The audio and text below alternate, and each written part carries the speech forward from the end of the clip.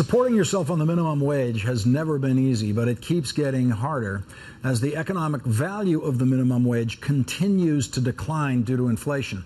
If the minimum wage that I earned in my first jobs had been adjusted for inflation in the decades since then, today's minimum wage would be $22 an hour. In fact, today's minimum wage, which is not automatically adjusted, adjusted for inflation, is stuck at 7.25 an hour.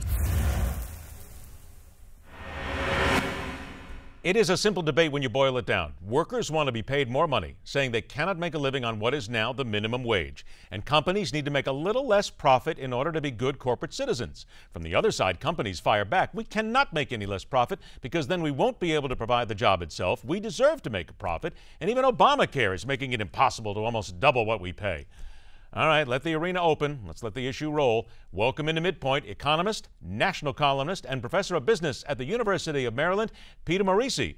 And one of those business owners who believes you can pay the employees more and make it work, the CEO of Earth Friendly Products, Kelly Vlahakis Hanks. Kelly, Peter, thank you so much for being here today.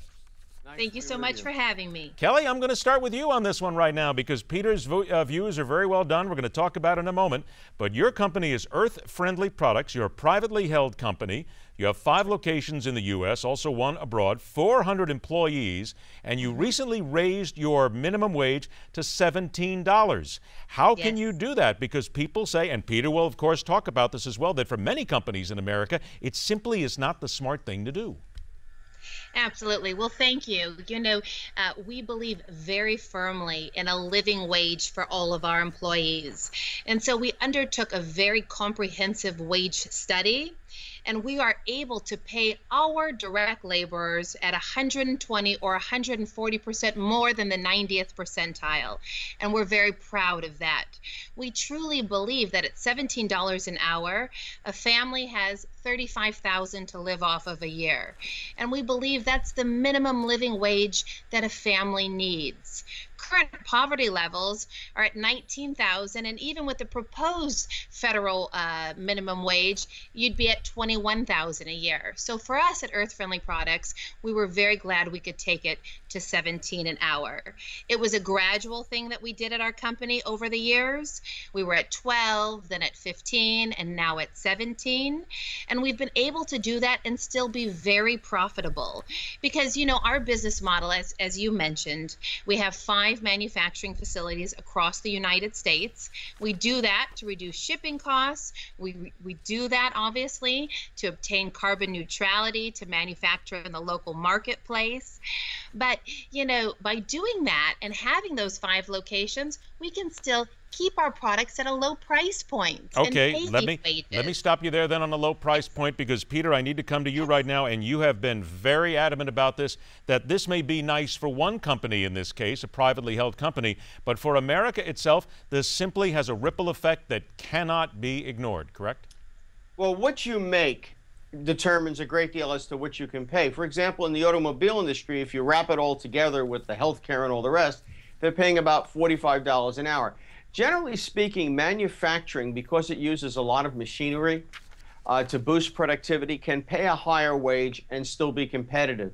Uh, the workers they're competing with in Asia, you know, though they are paid less, they do it with, usually with less efficient means of production. It's quite another thing, for example, a fast food operator. Uh, in those areas, these minimum wage workers, the people that take your order, aren't doing very much and they're not using a whole lot of equipment. Uh, there's not a lot of value added in the industry to, to, to divide, to divide around.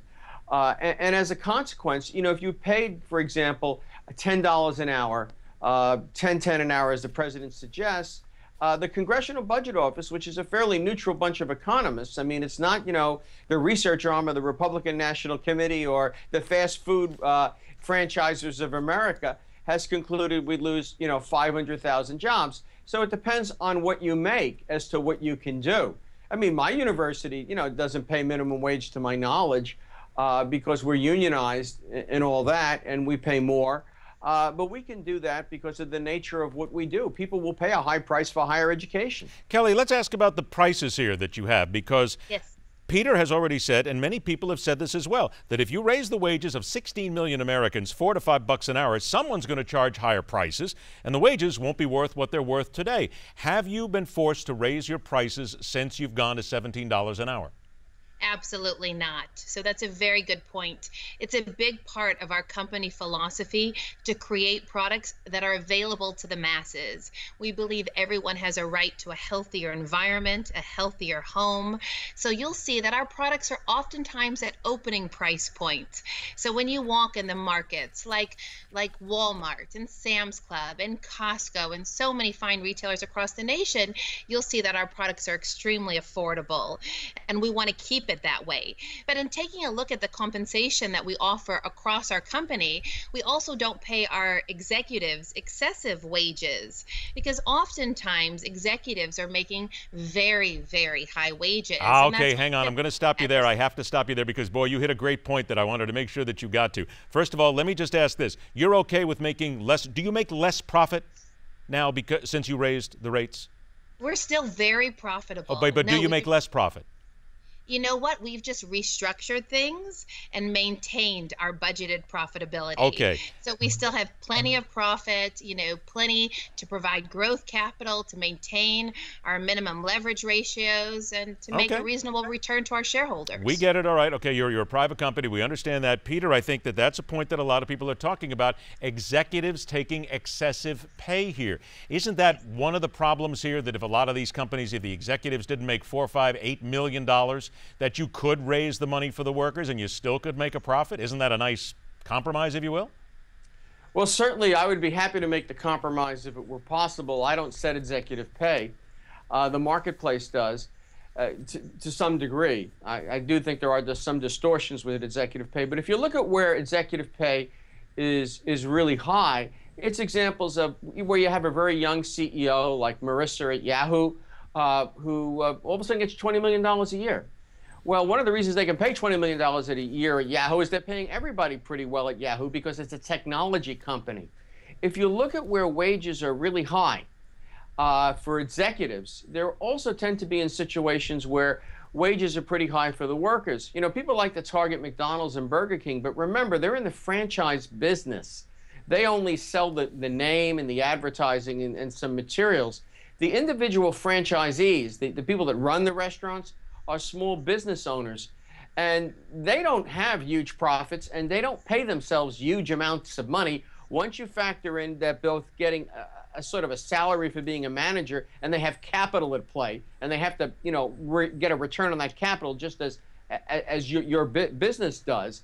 Uh, and also, they compete with mom and pop operations uh, who uh, can pretty much hit the same price points and don't make much profit at all and don't pay huge salaries. And aren't they really uh, entry level jobs as money, well? My bottom line is if they pay more money, there are going to be fewer of those restaurants around because they will lose money. And isn't it fair to say that those are basically considered by many people to be just entry level jobs? Well, yeah, I don't like that argument, to be honest with you. I mean, a job is a job. And uh, the question is, how much value can you create in the job? I mean, we have whiz bang kids who can write apps and software at 17 and get paid huge amounts of money. Those may be entry level jobs in technology, but they're creating the value, so they ought to get the cash. I always wanted to be one of those kids, and I never quite got there. Unfortunately, you know, it kind of passed me by. Go ahead. I Kelly. would like to. I'd like to add one thing here Please. because there's obviously the humanitarian aspect to raising the minimum wage, but there's also a lot of great business reasons to do so, and I've spoken about this on many occasions.